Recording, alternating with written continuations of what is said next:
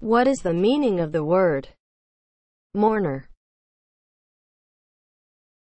As a noun, a person who is feeling grief as grieving over someone who has died.